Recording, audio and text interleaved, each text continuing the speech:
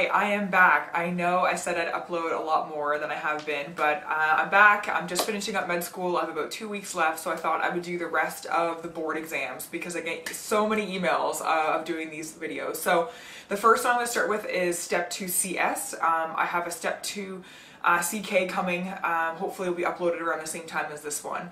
Um, so the CS is clinical skills. So this is where it's 12 rooms. You pretty much go in three, three, three, three, um, and you have a break, a little bit of break after um, three rooms. Um, you go in, you shake their hand, you wash your hands, um, and that's kind of when you have 15 minutes to do the encounter, and then you have 10 minutes after there's an announcement, and you have to do your note on a computer. So you guys probably know what CS is by this point, but I wanted to kind of give just the gist of this. isn't a written exam. It is more of testing your clinical skills, uh, making sure that you are clinically competent to go into med school, to go into residency rather. Um, and it, it, was actually kind of a fun experience. So my experience overall was really good, um, but you really have to make sure that you practice. I know in a lot of forums and there's a lot of people writing me being like, you know, is it just like an English speaking exam and as long as you speak English and you're coherent, then you can pass. But that's not really that at all. Um, you really need to know your clinical knowledge um, and also your skills to be able to practice that in, in kind of real time. Um, they are standardized patients, but they actually do a really good job of being kind of actors and actresses.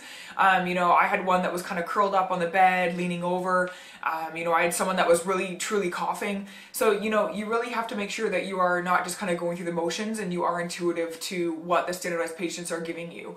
Um, you know, if you notice a little Kleenex in their hand, ask to see it. It could be some blood, it could be mucus, it could be greenish in color. So you really have to make sure that you pick up on all the physical exams that they're giving you.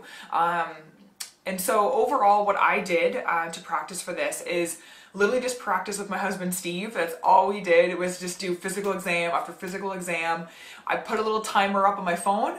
Um, we'd hit start and I would do 15 minutes for the interview. And then after that was done, I had the free template online, which you can find on USMLE um, Step 2 CS kind of broad website. They give you what the template actually looks like and there is a timer on there as well. So after that encounter was done with Steve, I would just kind of, you know, pretend that I'm really doing the live thing and I would go right to my computer and do the note. That saved me because time is a huge thing on this exam. 15 minutes goes by so fast.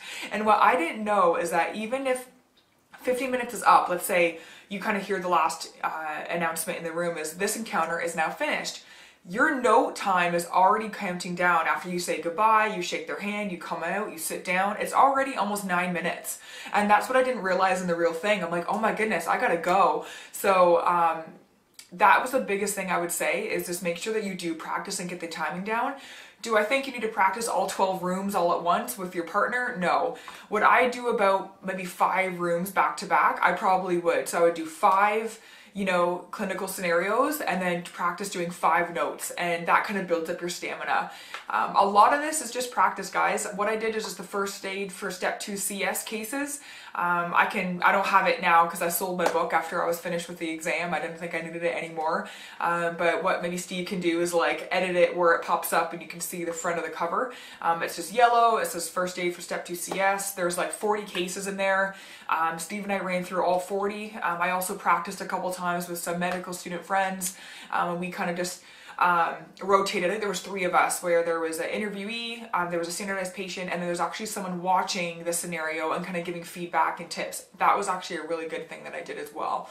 So the step 2 CS is doable. It wasn't that bad, but really make sure that you practice because I know that there are some people that had trouble with it and just the timing. Um, so really making sure that you get your timing down, you brush up on your clinical knowledge and your clinical skills to be able to put those into practice. Um, and then just having confidence and having fun. Um, it really was kind of a neat experience and you really did feel like a doctor kind of the whole day, which was kind of fun as well. So um, good luck and CK video will be coming shortly. Um, but I just kind of wanted to give you guys the feedback that I found from the exam and also what I did to do well on it. So good luck and I'll see you in the next one. Bye!